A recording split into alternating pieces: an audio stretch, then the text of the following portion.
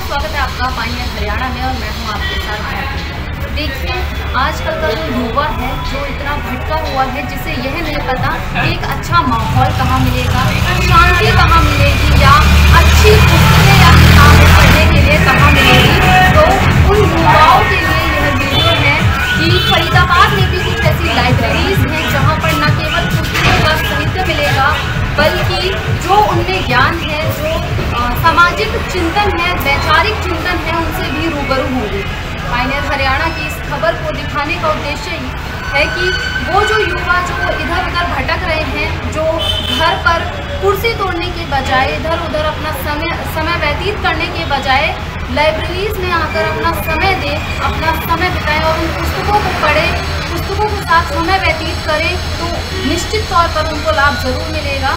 अभी मैं मौजूद हूँ एन बस स्टैंड के पास अमूलचंद लाइब्रेरी में जहाँ पर आपको कई तरह की पुस्तकें मिलेंगी पढ़ने के लिए। निश्चित तौर पर आपको लाभ मिलेगा इन पुस्तकों को, पढ़कर। तो आप यहाँ पर ज़रूर आएँ किताबों के साथ थोड़ा समय व्यतीत करें। और यहाँ पर गार्डन भी है जहाँ आप शांति से बैठकर अच्छे माहौल में किताबों के साथ अपना समय व्यतीत कर सकते हैं और अपने फ्यूचर को लेकर एक अच्छा भविष्य देख सकते हैं। तो आइए एक बार बात करते हैं यहाँ पर मौजूद लोगों से बच्चों से जो यहाँ पर पढ़ाई कर रहे हैं।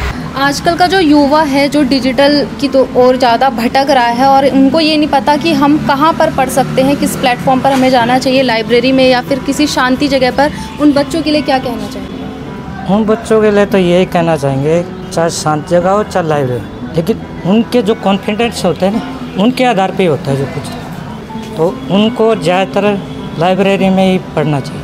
अगर बात की जाए इस लाइब्रेरी की लगभग कितने बच्चे रोज़ाना यहाँ आते हैं? रोज़ाना तो बता नहीं सकते लेकिन कभी बीस भी आ जाते हैं कभी तीस भी आ जाते हैं कभी चालीस भी आ जाते हैं। लेकिन तीस से चालीस तक का काउंट होता है। ऐसे बच्चे कौन से जो रोज़ाना आते हैं जिनकी एंट्री डेली होती है? कितने आते हैं रोज़ाना बच्चे आते हैं पंद्रह। पंद्रह। हाँ। क्या क्या सुविधाएँ दी गई हैं बच्चों को? सुविधा को यहाँ पर बच्चों के लिए सुविधा रखे वाईफाई की सुविधाएँ है। और इनको जो बुक इशू करवानी होती है वो बुक हैं। अगर जिनको पढ़ने के लिए चाहिए वो ले सकते हैं। कौन कौन सी किताबें यहाँ उपलब्ध हैं? किताबें तो यहाँ सब तरह की हैं जैसे सिक्स से प्लस टू तक की एन की बुक हैं और और तरह की तरह तरह की किताबें। कौन सी किताबों को बच्चे ज़्यादा पढ़ रहे हैं? कौन से जो बच्चे हैं वो तैयारी कर रहे हैं? कौन सी स्ट्रीम की कौन सी जॉब की? बच्चे तो कोई कोई एनडीए की तैयारी कर रहा है कोई यूपीएससी का कर रहा है कोई अरे एसएससी का कर रहा है कोई सी के हर तरह के बच्चे आते हैं पढ़ने के लिए। अगर बात की जाए आजकल के युवा की जो डिजिटल की ओर ज़्यादा घूम रहे हैं भटक रहे हैं उन बच्चों को क्या कहना चाहेंगे? आप क्या संदेश देना चाहेंगे? लेकिन आजकल तो आजकल तो जो चलन चल रहा है ई लाइब्रेरी का चल रहा है कि ज़्यादातर ज़्यादा ई लाइब्रेरी की यूज़ होनी चाहिए। अच्छा, हम संदेश उनको ये देना चाहेंगे कि डिजिटल में कुछ क्या होता है कि उनमें कुछ तरह तरह की कुछ गलत आपकी जो वीडियोज़ होते हैं उस तरफ़ बच्चे ज़्यादा भटक जाते हैं। तो डिजिटल से हट के थोड़ा सा जो लाइब्रेरी की जो ऑफलाइन बुक होती हैं थोड़ा उ, उस पर फोकस करें तो तो इसके लिए उन बच्चों को ये संदेश देना चाहता हूँ कि जो जो आने वाली जो लाइब्रेरी है, जो किताबों की, बच्चों को उस तरफ़ ध्यान देना चाहिए ताकि जो बुक है ऑफलाइन की, उसको पढ़ के अपना जो माइंड है, उस पर ज़्यादा फोकस देना चाहिए। ऑनलाइन का ऐसा है ऑनलाइन तो मतलब प्लेटफॉर्म बहुत है एंड कंटेंट की अवेलेबिलिटी भी बहुत है। और मैं ऑनलाइन का भी यूज़ करता हूँ कंटेंट का बट अल्टीमेट जो है ना बुक की हमारी सोर्स है।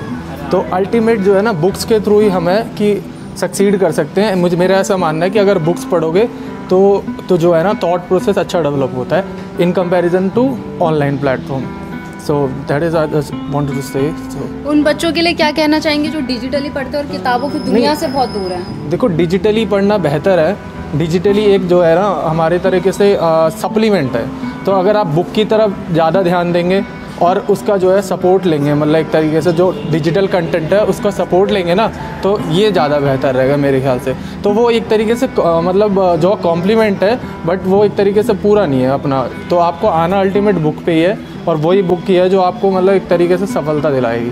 मेरा तो ऐसा मानना है, और मैं बुक्स की बुक्स की तरह भी ध्यान देता हूँ ज़्यादा, क्योंकि बुक्स ही ऐसा है जो तुम्हारा करेक्टर जो है ना बनाती है। तो जैसा कि अभी बच्चों द्वारा खुद बताया गया कि किताबें जो है कितनी ज़रूरी है। हाँ ये सच है कि डिजिटली जो है कंटेंट अच्छा मिल जाता है वीडियोस में जो है आपको एक ऐसा कंटेंट मिल जाता है जो आपको अच्छे से समझ में आ जाता है। किताबों में आपको कई बार ट्रांसलेट करना पड़ता है।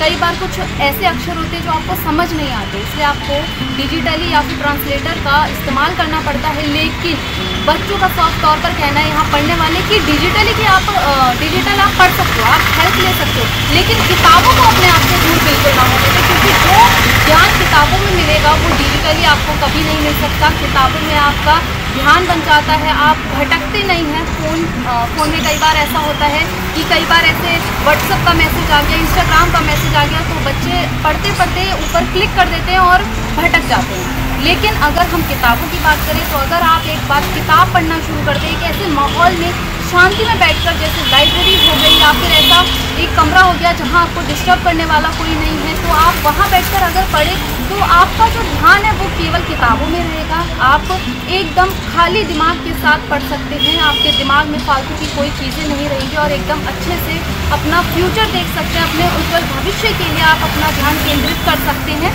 ऐसी तमाम खबरों के लिए बने रहिए पाइनियर हरियाणा के साथ। धन्यवाद। राष्ट्रीय समाचार पत्र पाइनर हरियाणा पढ़ने के लिए डाउनलोड करें हमारी वेबसाइट पर प्रकाशित ई पेपर दिन भर की छोटी बड़ी खबरें देखने के लिए सब्सक्राइब करें हमारे यूट्यूब चैनल को। वीडियो को लाइक, शेयर और कमेंट करना ना भूलें।